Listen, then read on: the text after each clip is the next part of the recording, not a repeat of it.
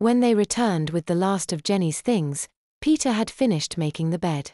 His mother told him to put the sheets, duvet cover, and pillowcases in the wash, before taking the bin bags down to the kitchen. Taking one in each hand herself, she headed downstairs.